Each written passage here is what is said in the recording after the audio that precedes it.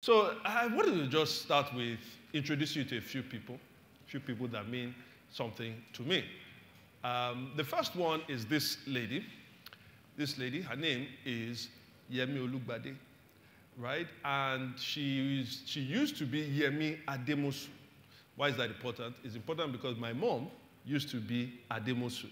So she's my mom's younger sister. To my sisters and I, she's simply Auntie Yam. Auntie Yam. Why is she important? Well, I have some quirks. Like if you're close to me, really, really close to me, you'll find out those quirks. Now, first of all, if you're, if you, even if you're not close to me, you know I like music. I like music, but I like different forms of music. But there are some that really get me going. They really get me going. Um, and many of you won't listen to that. So, for instance, if you really want to get me going, there's a guy called Bob Fitts. Who knows Bob Fitts? Anybody? Yeah, yeah, yeah, yeah. So some of the older people are like, yeah, I know him, but I can't really, I don't want to reveal my age. Uh, you've already revealed it. Zabida I saw you. All right, the children are like, mommy, who is that? Yeah, right? Well, Bob Fitts. If you don't know who Bob Fitts is, go on iTunes and listen to all those Maranatha uh, uh, albums there. Second, another person I like, this one, I tried in the first service. Only a few people, like three or four people knew. There's a lady called Dupe Olulano, but she used to be called Dupe Sholano. Who knows Dupe Olulano Sholano? Anybody? Ah, daddy, thank you, sir. It had to be.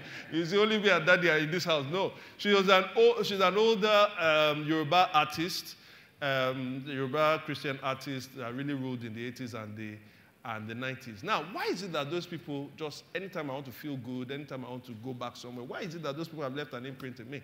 It's because of her. My early Christian foundations, my early moral shaping started with her. She lived with us from, literally, from the day I was born, or maybe after the Omugwo, and up until I was nine years old. She lived with us. So every good thing, uh, because there were other uncles and aunties, but the good things, it was Auntie Yam. She taught me at an early stage how to live in the world that was a wicked world. She gave me the things of God to live in that world. But then I want to turn to some other people because those ones taught me to live in the world as a worldly person, but a worldly person not in a bad way, a worldly person that was, that was a bit more cosmopolitan, sophisticated. That's these people. That's Pastor Rotimi and Pastor Bosse Awodumila. Now, she used to be Bosse Osunnuyi. She's my dad's immediate younger sister. And these people, to my uh, sisters and I, they are simply uncle and auntie. Now, why is that important? You know you've arrived significantly in someone's life when you're, you're able, um, when you're able to turn what I'll call as a title, you turn it into a name. For instance, for all of us, like when we heard the Queen, who are you referring to? Who are you referring to? Not your, not your wife or something. I don't know who somebody said something there. But if we said the queen, most of us refer to who? Queen Elizabeth, right? Elizabeth II of United Kingdom. Only God knows what they said in that place. We don't want to know, keep it to yourselves. Keep it to yourselves. My God. Oh, no. Any time you heard the queen, you were thinking of Queen Elizabeth II. Now, we said the queen, but she was Elizabeth. She was the second Elizabeth, and she was of the United Kingdom. She wasn't the queen of the whole world, but we often refer to her as the queen because she, had the, the, she was probably the most significant monarch of our time. And in that way, my aunt and uncle, we don't qualify their names. We don't say Auntie Bosse Uncle Rotimi. We just say auntie and uncle. Every other aunt and uncle have to qualify with their actual names. Why? These ones made such a deep impact on my sisters and I. You know, when my parents were so rigid in trying to get us to do our books and everything, these were the ones that took us to National Arts Theatre. Who knows where? Okay, yes, you see it. You know that uh, when you're going on Eko Bridge. Okay, let's just leave it there. But then, National Arts Theatre, and after we finish plays, right, we'll now come out, we'll eat suya there. There used to be suya. Now, some people used to say that that suya was not beef suya, that was actually horses or camels or um, uh, donkeys or things like that. I don't know, but the thing was sweet, sure. Uh, if, you lived in, if you live in Surulere, anybody lived in Surulere or lives in Surulere, who knows Akerele? Akerele. Now, in Akerele, there was something called Akerele meat pie. Hey, God. If you've not tasted Akerele meat pie, you don't know what heaven tastes like. Like, I'm telling you, there was no meat pie like Akerele meat pie. We also had UTC. UTC, they used to sell what they call cereal burger. And my aunt and uncle would take us there. All those things. Um, how I learned how to play draft. Draft, you know how they say, like, um, if you must be the master, the student must some, at some point kill the master. You understand? My uncle was, he was the master, I was the student. And my only goal in life particularly when I was 10 going to 11, was I just needed to beat him. And you know that sort of, when somebody is coming, you know, you know they're coming, coming. I can't forget the day I beat him in draft. I became a master that day. All right? So, uh, you know, when I say Grand Quiz Master, there are many ways I got that master anyway. So, they were the ones that did all of those things for us. My Monopoly, all of those things. In fact, it's so, it was so significant that you know, Nigerians, we like to fill a lot of forms. And in our forms, you have all these irrelevant things state of origin, blah, blah. But there's always one there, next of kin, next of kin. My sisters and I never thought twice about who we put as next of kin. It was always them. Why am I saying all of this? Why am I introducing you to these people? I thank God for who, what, who and what my parents have been to us, right? And the, the primary shaping of my life from the early years of my life was by my parents. There was the primary responsibility given to them, but also the, the primary uh, impact that was made was because of my parents. However, I'm not who I am today if not for the contributions of Auntie Yam and Auntie and Uncle. In other words, the reason why they are so important is this. Whilst my parents had the primary responsibility of parenting us, parenting was never designed to be uh, uh, only exclusively given to parents. It was always meant to be a collaborative endeavor. Did you hear what I said? Parenting, though, is primary with the parents, but it was always meant to be a collaborative endeavor. With who? With people we can specifically call helpers.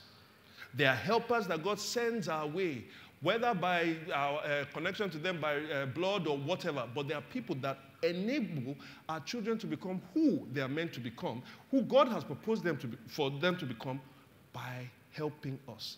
Now, in the last couple of weeks, we've spoken about how we must envision something for our children. We must have a plan that we invest in. Yes, all of those things are important.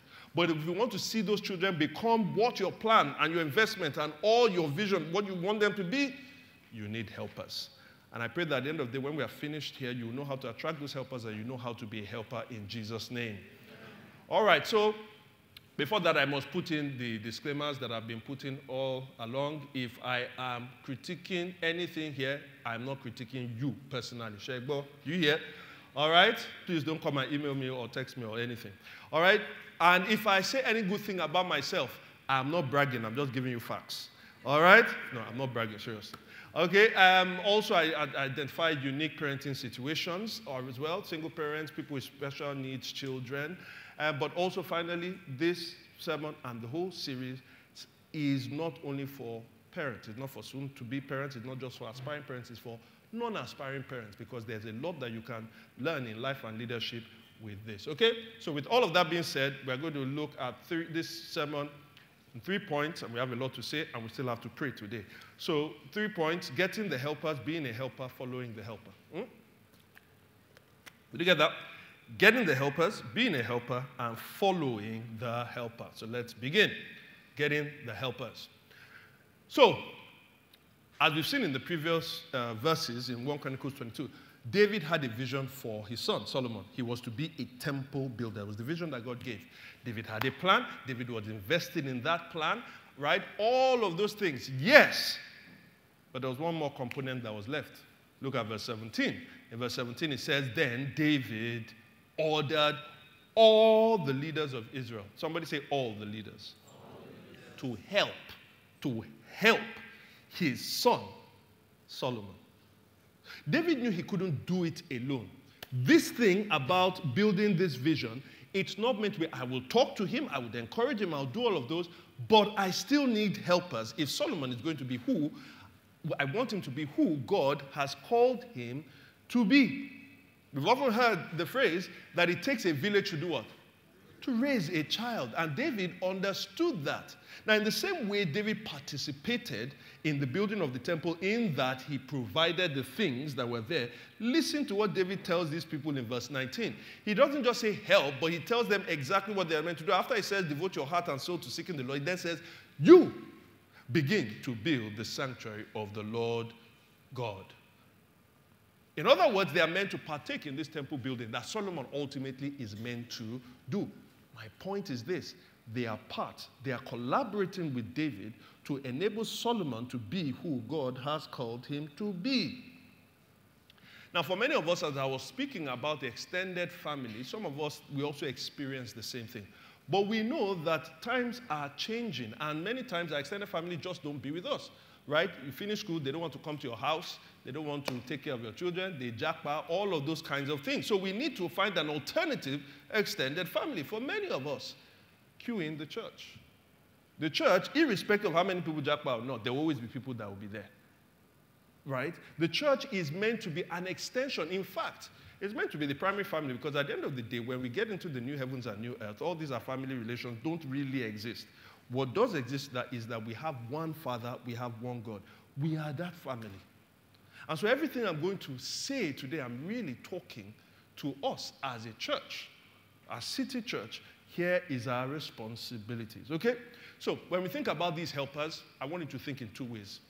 One way you should think about the helpers, the journey of getting helpers, you should think intellectually and you should think intergenerationally. We must think intellectually and intergenerationally. Say intellectually, intergenerationally. Let's start with intellectually, first of all. Intellectually, here's my main exhortation learn from experts. Learn from experts. I'll say it one more time. Learn from experts. Why do I have to keep repeating it?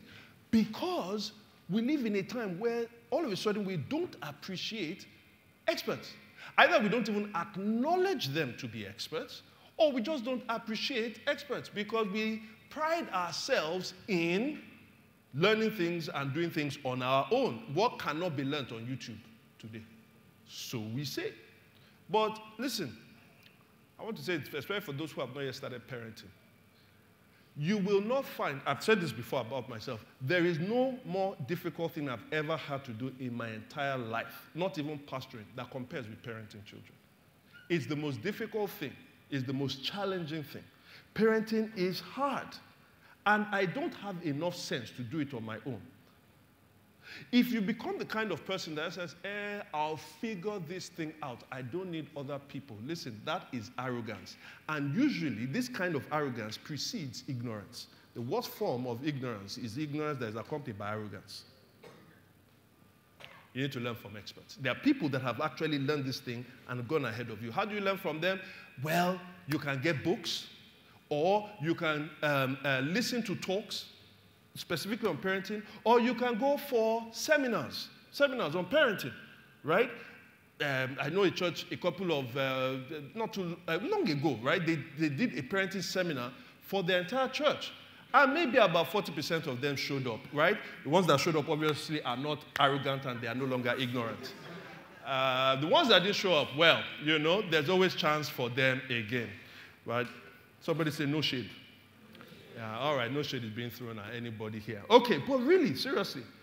Because if, when we just sort of, eh, you know, who, is, is he really talking to me? Anybody that came for our parenting seminar about two weeks ago will tell you that they did not leave, that they did not leave without saying, oh, I as a pastor myself, I felt, wow. Are you following what I'm saying? Learn from experts. Somebody will say, eh, but there's so much information out there, this, this, this, this, that, that, that. Ah, I don't want an overdose of information. I agree, don't have an overdose of information. But if you've ever been sick and you went to the doctor, even though you knew about overdose of medication, we all know this. The solution to overdose is not zero dose. You don't say because somebody has overdosed on malaria medicine and it killed them, uh, when I have malaria, I'm never taking medicine again. Do we say that? No, that's ignorant learn from experts, get equipped. But that's not where I'm spending my time. I'm really spending my time intergenerationally. Maybe I should proceed with this story. Right? One of the most significant things that happened in the life of the kingdom of Israel was the split. Uh, Israel eventually split into two kingdoms. How did that happen? Here's the backstory. After Solomon died, so even though we're with David and Solomon, Solomon eventually came to the throne, but he ruled for 40 years and then he died. His son, Rehoboam, eventually came to the throne. Now, you know how we talk about the first 100 days? You want to be able to establish yourself, take control. So Rehoboam was thinking, how can I take control? How can I show I am not Solomon and that now the kingdom has been passed to me? So what happened was some people came to meet him, representatives of the 12 tribes, and said, ah, bros, see, eh, your father was hard to us. But we swear we'll serve you. Just lighten the load. Treat us less harshly than your dad did in terms of our work. So he thought, hmm, okay. Let me consult two sets of people. So he consulted elders and young men. The elder said, Oga, follow with them, all, right? In fact, if you do so, they will really be loyal to you. I thought, hmm, okay. Then he consulted the young men. The young men said, these old people, these old people, this is how they've been trying to do things. See, if you want them to respect you more than your father did, right, you need to really put your leg down. Said, hey, eh, this one seems, all you old people forget. Forget that's not the way we do things. Now, he says, you know, my father put a yoke, a heavy yoke on you. I will make it heavier. They say, ah, no, no. He said, let me even explain.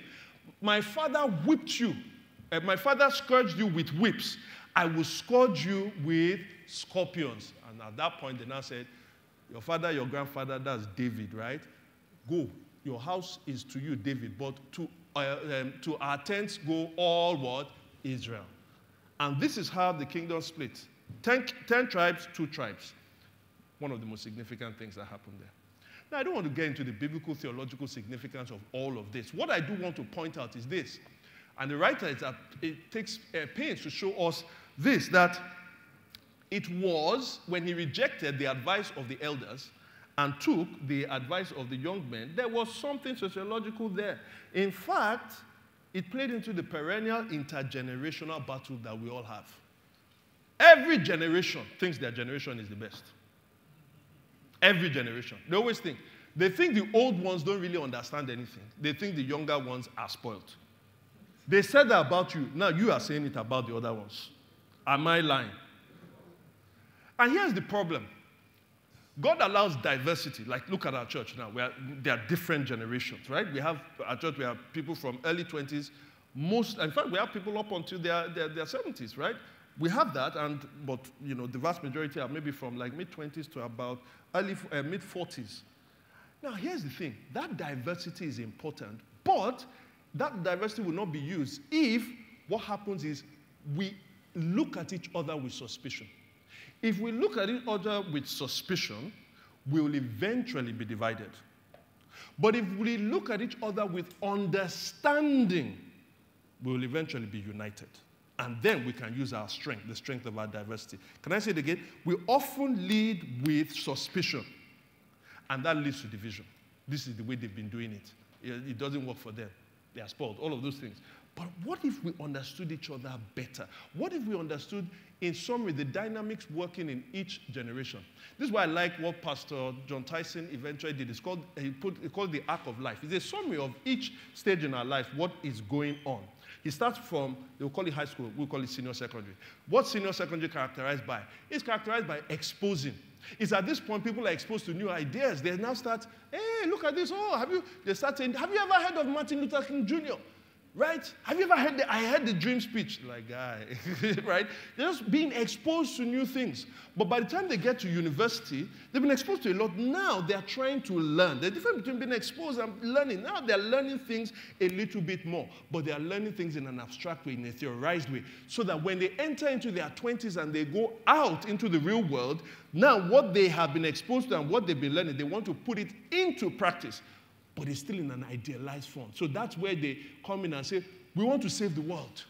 We want to eradicate poverty. They say that all oh, these governments are all terrible. All we need is a government of the youth. but then they enter into their 30s. It's in your 30s you start to do what we call editing. After life has hit you, you now say, you know what? I'm not eradicating poverty for anybody, just for myself. Right? This is why, you know, politically, they always say that most students start from the left, and as you grow older, you move towards the right. Once you start having property, you start saying, ah, no, no, no, no, taxes, all of those kind of things. So they move from editing. Now, after the veterinary said, no, this is not who I am, this is not blah, blah. By the time you get to your 40s, it's now focus. And that is the place of mastery. You start to master things. By the time you get to your 50s, the things that you've labored for in your 30s and your 40s, you now start harvesting. You know somebody that is in that phase or has gone through that phase, the way they walk into church, they can't run. You see, you people in 20s and 30s, you're always moving fast because life is happening to you. But by the time you're in first, you're 50s, you know, you're not harvesting like, oh, cool down, cool down. All this, eh, you know, 50s harvesting. 60s, now you now start identifying people. You are okay. You now identify people that you want to be guiding. It is guiding. 70s is now so much wisdom that you want to pour out. So now you are imparting. 80s, you are just savoring life. 90s, you are preparing to meet with your maker. Hundreds is not there, but I just say hundreds is enjoying in the presence of God because you are dead. All right? So here's the point I like. Now, of course, now we don't want it's quite it's quite a summary, but here's the point. If we understand where people are going to, rather than be irritated by them not understand, uh, not behaving like you are behaving in your own generation, we will be able to unite a whole lot more. This is important. Are you following? Because once you do that, now you can learn from helpers, whether they are old or whether they are young. For those of us who are parents, we can learn from those who are old and those who are young. Let me help you with those two things, right? Help um, um, learning from those who are older. The way you learn from those who are older is two things observing and listening. But before you do that, before you can get that, let me tell you, there's a key to unlock those things from them. You know what the key is? Whenever you meet old people, honor them. Honor them. What does honor mean? It means acknowledge what they have, celebrate what they have, and reward what they have. You see certain things in them, acknowledge it. And not just acknowledge it, praise them for it. And also reward them for it. So when you tell them, ah, I want to come and learn this thing from me, I see that you are blah, blah. Oh, you're not just acknowledging, you are celebrating. I like the way you people do this, I like the way your family is, blah, blah. Or somebody says, What is reward? Buy them presents. Say, really? But they have more than me. No, I'm telling you, I'm giving you advice now. It says something about value. I'll pack that one. Just leave it. Do whatever you think you want to do. But now, if you do that, the two things you can get from them by observing and listening. Observing is your frequent teacher. Listening is your deepest teacher. Observing your frequent teacher, listening is your deepest teacher. Observe, by observing, you don't need a class. You can just watch them Watch them with their kids. Watch them in church. Watch them around. Now, here's the thing what honor does is this you can, it, you, it gives you access to them. So you don't just access them in the public space, they're able to give you access into their lives, their personal lives, so that you can observe more of the secret source of what is happening. The thing with observation is that sometimes they're not even able to articulate what it is they're doing and why, but you're able to put the things together. Now, with that being said, there are some things you want to be able to ask. That is where listening comes. As you've observed them for a period of time, you have certain questions that you want to say, okay, so how does this work? You bring perceptive questions. Are you following me? They will know that you've been observing. They will know that you, are, you admire something in them because you've honored them, and now you can then ask them questions. But let me sound one note of caution when you are asking them questions, don't ever, ever, ever, ever, when they give you answers, don't ever correct them. I say that because I see it a lot. Don't ever what? Correct them. Why do I say that? Is it that they're always right? No. Do you think they think they're always right? No. But here's the point. You are the one that came to learn. You didn't say that I was coming to come and debate with you, did you? So if you go and you now start correcting them at that point, guess what? They would go back and forth and eventually they will leave you. Then you now want to ask them another question. Why do you need me again? Now, here's the point. It's not that you are saying everything is right. It's that you are doing the editing process at the wrong time with the wrong people. Go back home, compare with what you think God says, how God has called you, and say, okay, all of this part I get and I will apply. This other one I don't. Because when you correct them, when you sort audience with them, and you correct them, you know what it is? It's dishonoring. And dishonor, dishonor always closes doors. In the same way, honor opens doors. Are you hearing me? Now, that is for older people. How about younger people? The reason why, let me say this to parents, why you must, you need to learn, you should be humble and learn from younger people is this there are certain things that they, there are certain ways, there's certain access they have to your children, children that you will never have.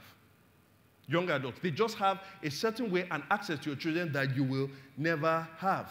Chidinma told us in that seminar, she used a phrase she called secure attachment, that your children feel safe with some people and they are attached with those people.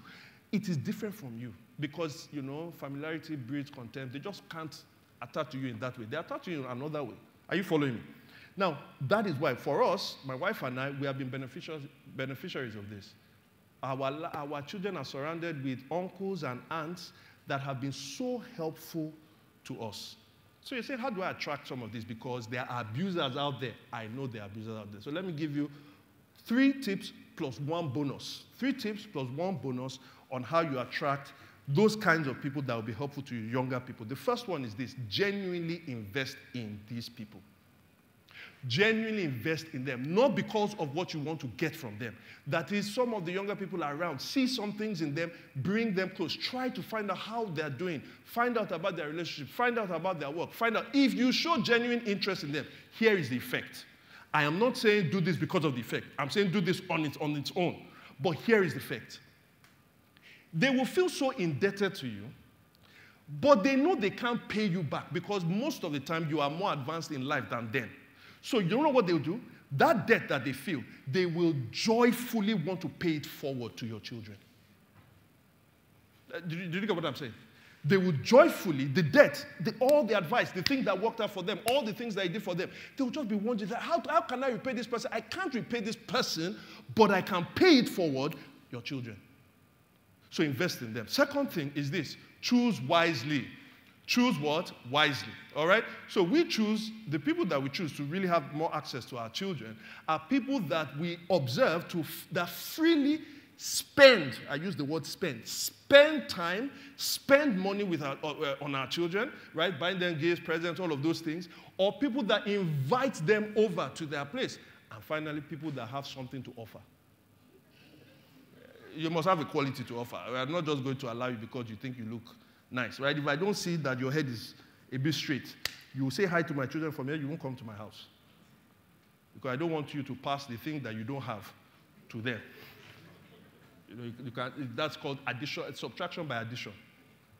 All right? So, but there are people that just generally, I can see the love that they have for our children by spending doing all these things. I'll say a little bit more about them in the second point. So, you choose wisely. And then the third thing is this give freedom. This one is controversial. Give those adults freedom. What do I mean by that? Give them, let them form genuine relationship with your children. Not relationship, not, don't allow them to be proxies for you, where they are, they, uh, those adults become like moles. Like, okay, uh, my child, I'm not one, he, he's always checking something at night. I can't hear. What if you got close to him? And if you get close to him, you'll not be my informant. You know that kind of thing. No. Let your children have genuine relationship with them. And let me tell you how. The, the number one sure proof. Uh, the way you can uh, really establish this. Give them the freedom to learn things from your children that they don't have to tell you. The freedom not to tell you everything that they know. Some of you are here. You have a 15 year old daughter and be like, ah, you're telling people, ah, thank God for my children. She can never have a boyfriend. What that auntie knows is that she's on her third boyfriend. now, the reason the auntie doesn't tell you, and thank God, is that you don't want to have, you don't want to have heartbreak. Eh? Three boyfriends. How, I, said, I, I didn't tell you she was dating two of them at the same time. you say, my God.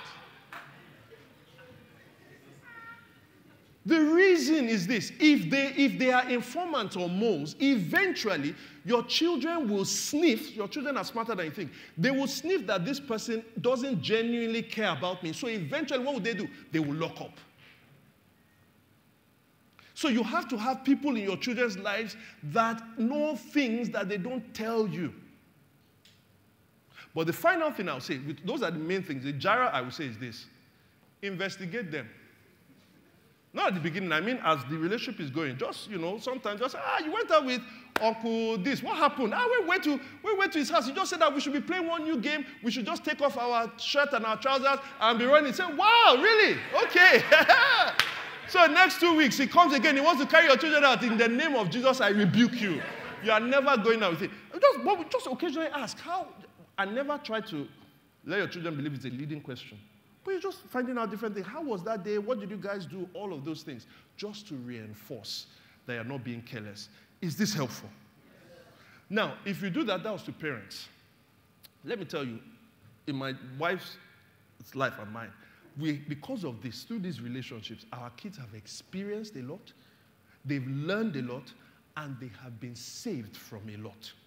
In a way that my wife and I could never, if we were doing it alone, it would never happen. So, if that's the case, I want us to talk about being a helper. So, now I want to address those who are not parents or those who are helping with other people's children. Being a helper.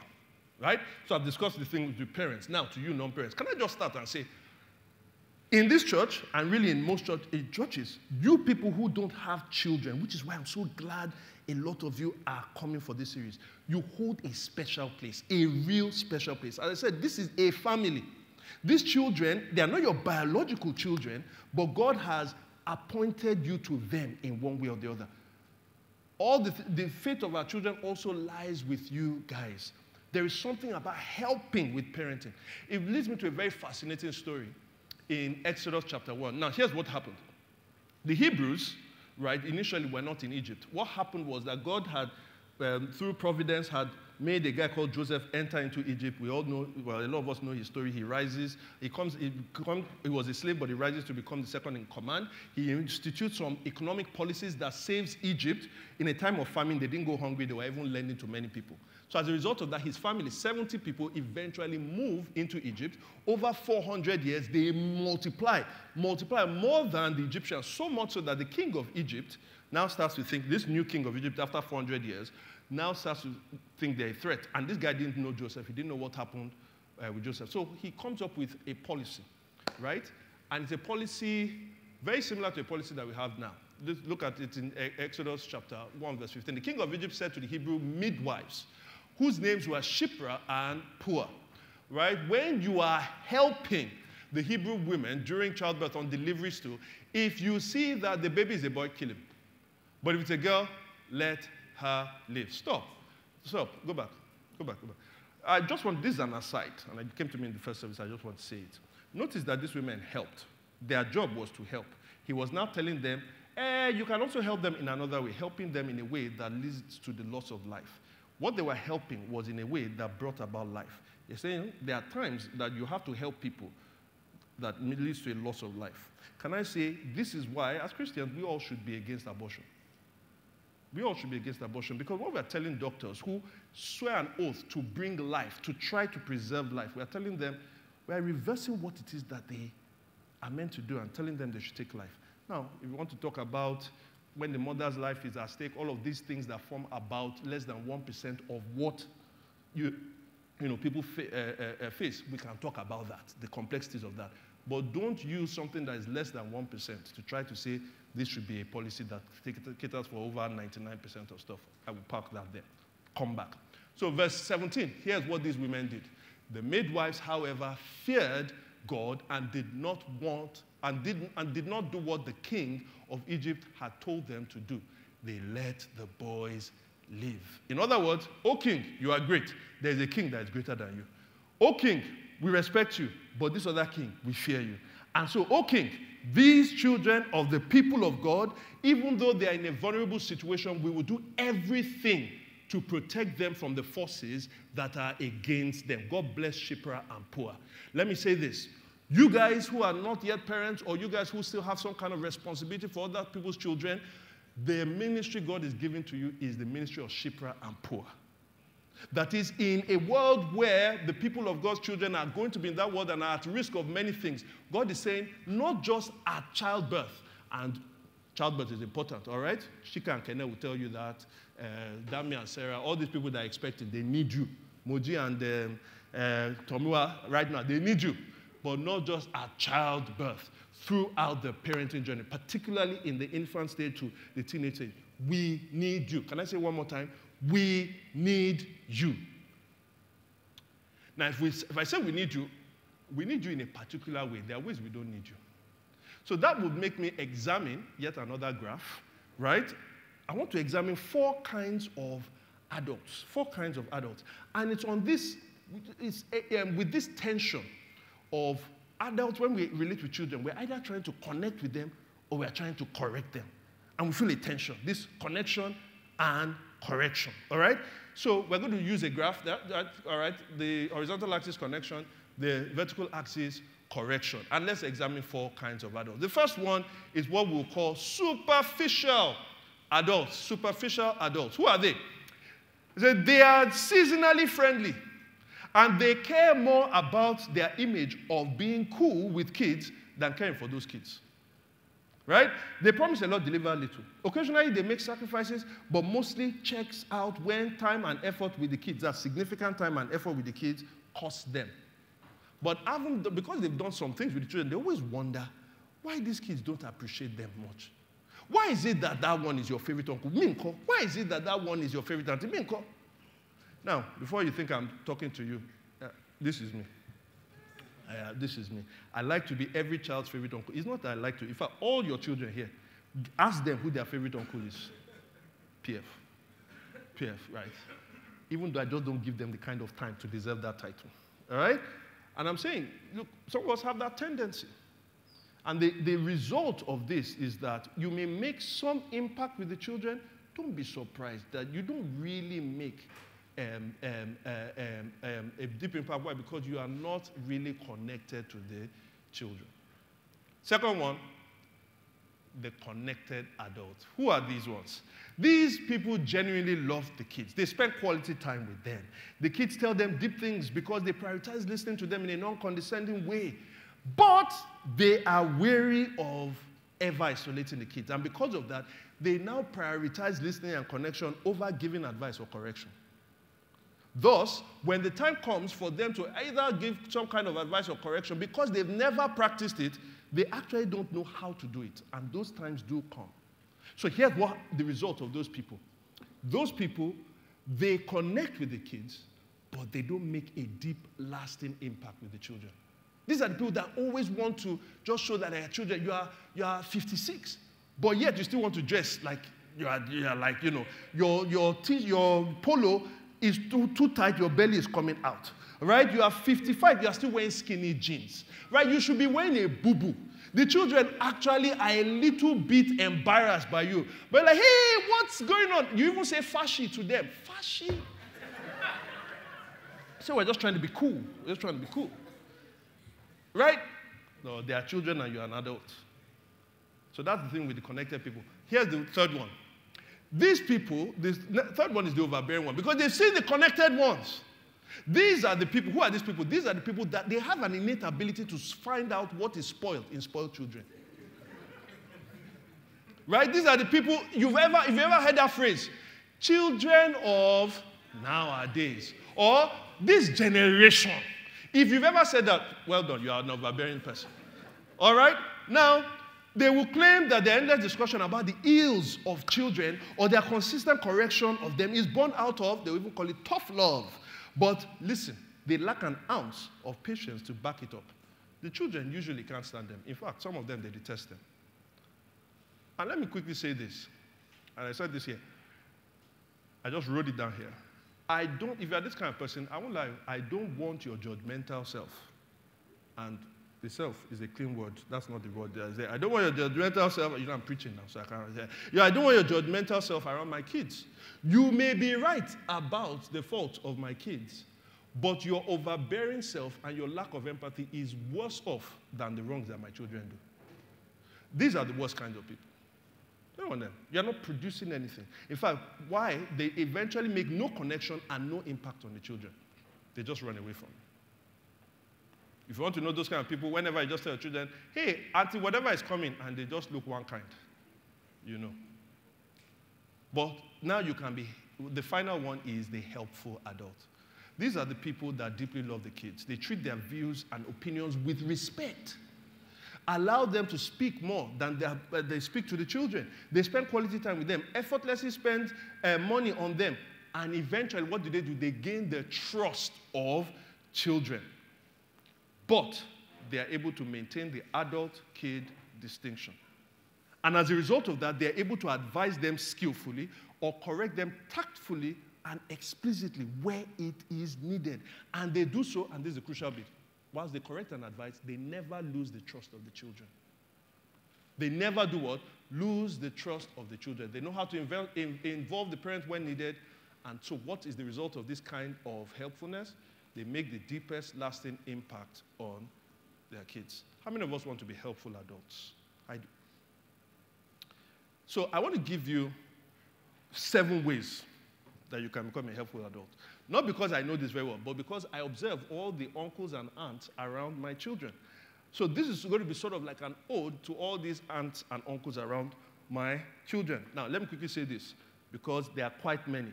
If I don't call your name and you have made an impact, it's not what? Personal. Please don't be angry, eh? Okay? I know it was risky doing this thing, but I know some of you have done well. First one, listen. Listen. You can be helpful adult by listening. When I mean that, listen, a lot of people condescend to children. You just condescend. Okay, so that 11 year old is crying that that girl broke up with him. That she broke up with him. And now she's now dating her, his, his best friend.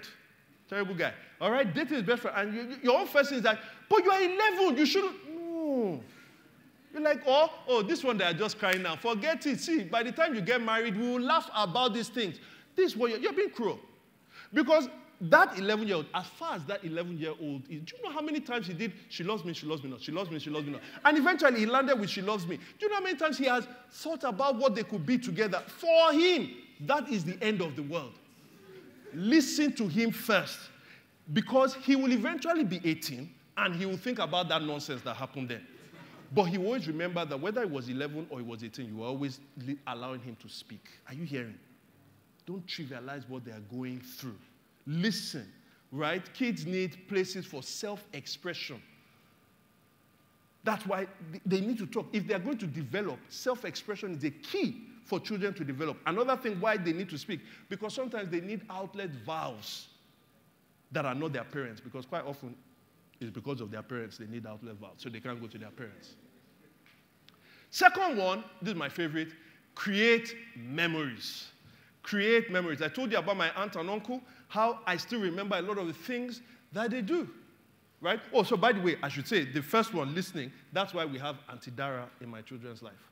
Because she listens to them. She listens to them. She actually listens.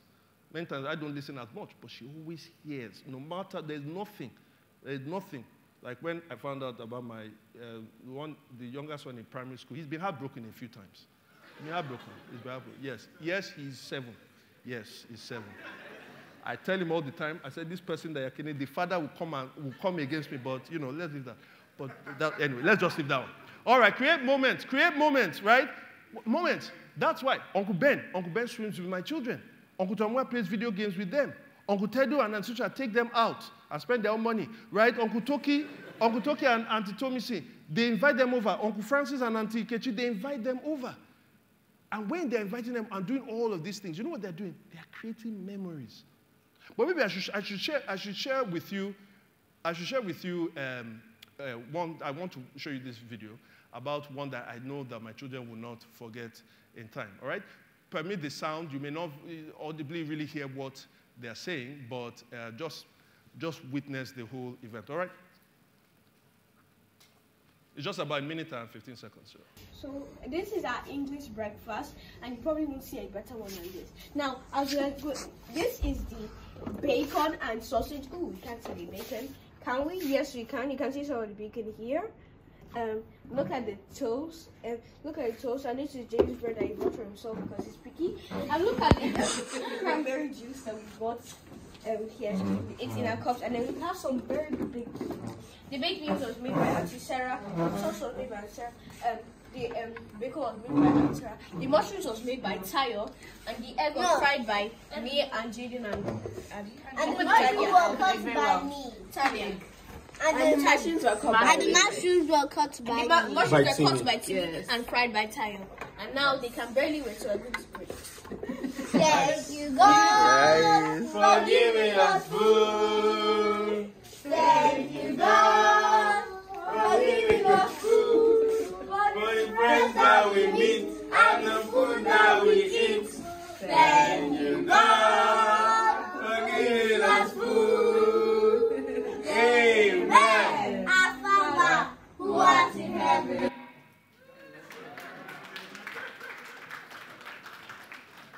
Now, if you're watching that, just saying, what's wrong with this tree? How can you be using Superman song to actually do prayers? You're just, you're just, you're just being stuck up. Or maybe you have observed the table and you're like, what? They're using, they're giving children margarine Planta, right? Or is it blue band instead of butter? What happened to the butter? I'm not saying that's what I saw. I'm just saying, you know. But, but, but here's the point, guys. Every midterm, once a year, every midterm, Sarah and Dami invite my children over and they do things like cooking, they spend time, they go, they do adventurous stuff that my wife and I will never be able to give them. They will not forget this thing in their 30s. They will not forget in their 40s. Create memories for them. The next one is very related. It is sharing your stories, sharing stories or memories. This is so important. Why? Because I'm talking about sharing your own life's journey.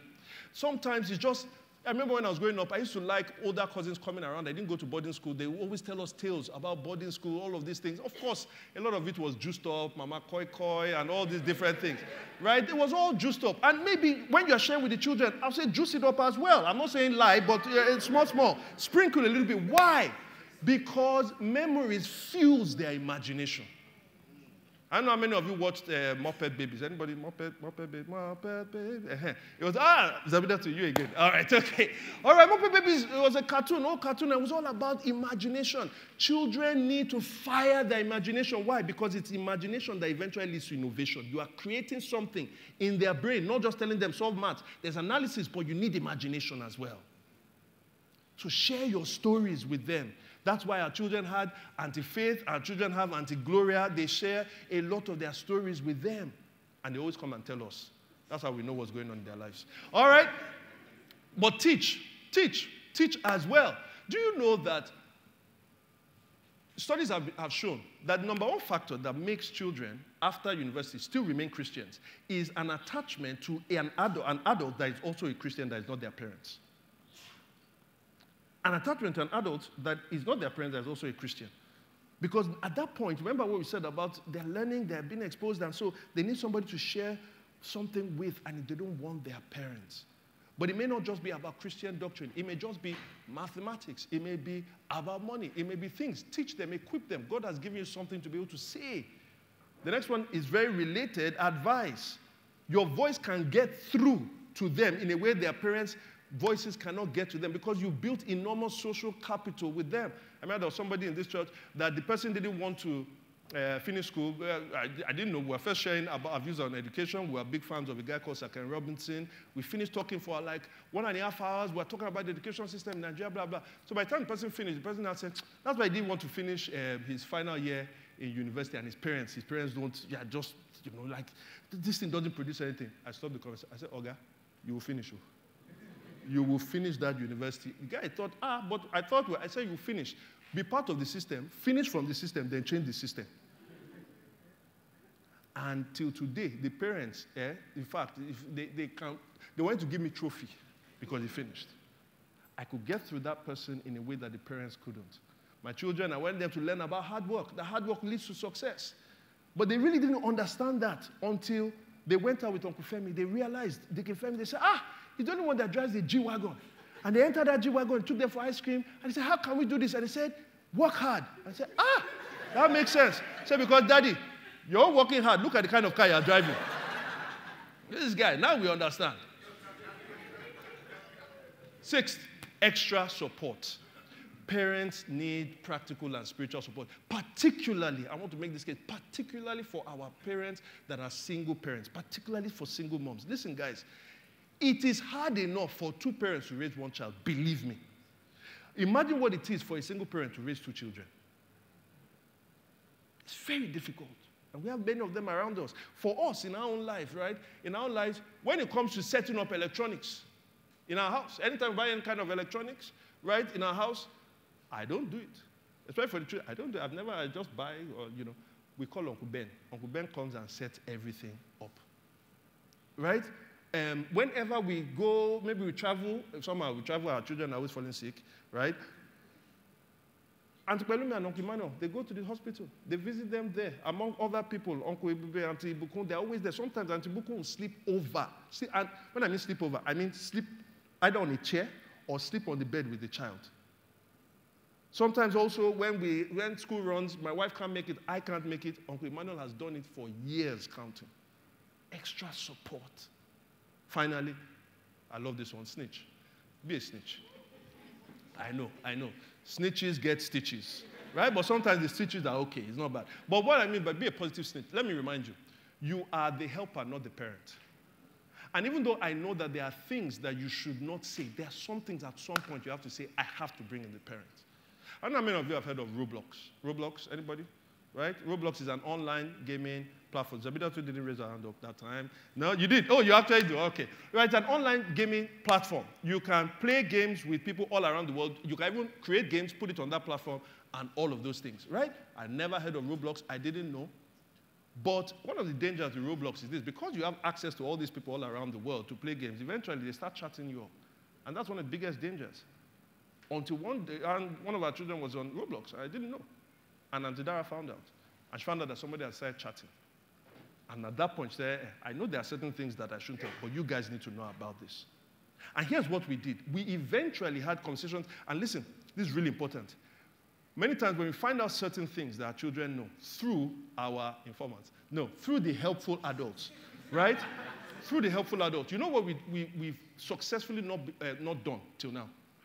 We always skillfully allow, lead the children on to talk about it, to confess it. They never know that we're speaking about the adult because that, that adult told us, because we want to make that relationship sacred. Are you following what I'm saying? Guys, these seven tips, and there can be more. Here's what I'm trying to tell you. And there are many people I didn't call, I'm sorry. But here's what I'm trying to tell you. If my parenting is not perfect, my children are not perfect, but I actually think my children are doing okay. And it is not humanly down to my wife and I alone. I stand as a parent on the shoulders of all the helpers that have been contributing to my, my children's life. And I'm saying if you want to see your children develop in that way, get helpers around you. But for you who will be helpers, these are the ways you can become a helper. Amen. Because also, if you need an added incentive, listen to what it says in Exodus 20, verse 21, about these children. Exodus 1, verse 20 and 21. Listen to what he says about Shiphrah and Puah. So God was kind to the midwives, and the people increased and became even more numerous. And because the midwives feared God, he gave them families of their own. In 2008, I was doing my master's. I was sitting down. I got a call from my older sister. She said, Are you sitting down? When somebody says, Are you sitting down? You are scared. Right? So he said, Are you sitting down? I said, Yes. And she said, I want to tell you something. But please, okay. She said, Auntie Yam is pregnant. I almost fell off my chair. For 16 years, she had not been able to conceive. Not been able to conceive. For 16 years. It was something that, it was one of the most painful things for our entire family. And the point is this for somebody that poured into other people's children, that helped, why is this thing lacking? And after nine months, God gave her praise. Because God honors those who fear him. He gives them their own families. Bible said he sets the lonely in families because he's the father of the fatherless and the husband of widows. I want to just say this over all the people I mentioned and the ones I didn't mention, but even over some of you who is not my own kids, but is other people's kids. May the Lord reward you for all your efforts. May the Lord send you help that is beyond the help that you have rendered. May the blessing that came upon Shiphrah and rest upon you. For where you are still looking for your own child, I say in the name of Jesus, you will handle those babies your own. I say in the name of Jesus, where you are looking for a life partner, the God, Lord will give you the right partner in the name of Jesus Christ. That is my, my final point. You know, somebody would say something like this, you know, now nah, I'm good, I'm good, I'm really good because, you know, I don't need, it's not that these things can't be helpful, but I don't need the drama of other people in my life. Raising these children is already hard enough. And I want to say, please don't make that mistake. In fact, I think you're making a, a, categorical mistake. What do I mean by categorical mistake? You are mistaking what is preferential helpfulness with essential helpfulness. What's the difference? If I told you, spend more time, spend time. If you want to be, you want to have a successful marriage, spend time with your spouse. That's essential helpfulness. If I say this is the way you can spend time with your spouse, that's preferential. If I say eat a good with a good, di- eh, a good diet for your health, that's essential. If I say here are the things that you can eat, that's preferential. If I say go to church, that's essential. If I say go to this church or that church, that's preferential. When I'm saying you must do collaborative parenting or you must be involved, you must help people in collaborating in their own parenting, it is not preferential, it is essential. And why is it essential? Not just because of all the things I said, but because of this real point. The God in whose image we are created, the God who is the Savior of the entire world, He embraced collaborative parenting to save the world. So, what? Yeah.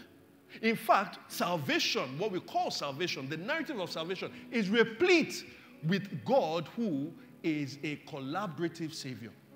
Just think about the final week of Jesus' life.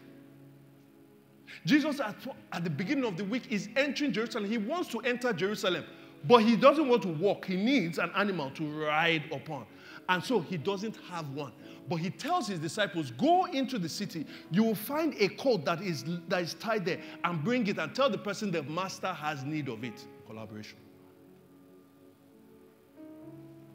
Eventually, getting towards the middle of the week, Jesus says he wants to celebrate this Passover, the last Passover, because he's going to institute something called the Lord's Supper that will be here with his people till he returns, that reminds the people of him. He wants to institute this holy meal, but he doesn't have a place to celebrate this Passover with his children, but he tells, with his disciples, but he tells them, go and find this person, and this person will give you this in. Why? The master has need of it. Collaboration. But I can even be more explicit. On the way to Golgotha, on the way to paying for the sins of all mankind, on the way to paying for the sins of all those who will believe in Him, on the way for taking the curse that was upon us so that we can live with God forever. Jesus is carrying His cross and He's about to get there, but He stumbles because He's weak. So lies the fate of all humanity. But there was a man called Simon of Cyrene, and he was able to help Jesus carry the cross. Collaboration. But that body needed not to be on the cross, it needed to be buried and come out from the grave. He was to resurrect. But who was going to speak and get the body of Jesus Christ? The disciples couldn't because they'd all fled. It needed someone with power. Step in a man called Joseph of Arimathea. He goes to advocate before Pilate to get the body of Jesus Christ. But also, there's something missing. He doesn't have a tomb. And so he takes his own tomb and buries Jesus there. Can you see what I'm saying? The whole gospel narrative has the collaboration of God with human beings rife in it collaborative salvation. To which somebody then says, Yeah, but that's the final week. Oh, but the final week only happens because this is something that has happened at the very beginning. Listen, the most mysterious statement I find in all of Scripture is this the Word became flesh and dwelt among us. The Word became flesh. Why I say it is the most stupendous thing? Why? The Word is God, the Word is Creator. How does the Creator dwell in the world of the things that He created? The most mysterious thing you ever hear. How does Steve Jobs enter into the world of microchips? It doesn't make sense. But let us leave the mystery aside and let us ask why the Word had to become flesh. The Word had to become flesh because there is a spiritual principle at play. Maybe I can illustrate it this way. You know why fans never carry the trophy, the Champions League trophy? Man City fans never carried it. Why? Because even though their team won, they did not participate in it. If you're ever going to win or lose at something, you must first participate in the thing that you are doing. And in the same way, the Word had to become flesh because the people that He was coming to save, they were flesh and blood That's why he did not become an angel. Give me Hebrews 2, verse 14. This is what he says. Hebrews 2, verse 14. Since the children have flesh and blood, he too shared in their humanity. Verse 16 in their humanity. For surely it is not angels he helps. Why? He did not become an angel because he wasn't saving fallen angels. He became a human being because he wanted to save what? Fallen humans. But Abraham's descendants, verse 17, for this reason he had to be made like them, fully human in every way. So, question if he was going to be human, if he was going to enter the human world, how was he going to do it? We know that at the end of his life, the body needed a tomb. But if he was going to enter the world, he needed a womb. And God didn't have a womb. But thank God there was a young lady called Mary. She had a womb that could contain the God that created her. God was already collaborating in this most mysterious thing we call the incarnation. He needed a womb, and that was where his collaborative parenting of his son began. And even after that, let me say something that will seem blasphemous, but Jesus needed people that were going to change his nappies. Jesus needed people that were going to feed him milk. Jesus needed people that will help him when he was crawling. Jesus needed people that will help him when he was walking. And that was where Mary and Joseph were. Was he the son of Mary and Joseph? Yes. But he was also the son of God. Because Mary and Joseph were there to collaborate with God to raise the Savior of the world. Listen, and I'll say this and I mean it. I dare say that Jesus does not become the Savior that he is without the input of Mary and Joseph. Our salvation is collaborative, not just because of what happens at the end, but what happens at the beginning. God collaborated with human beings to parent his son so that he can save the world. If God did that, then to save your children and to save the children of others, God needs you to free your children for collaborative parenting, and God needs you to participate in the parenting of other people. Shall we rise to our feet?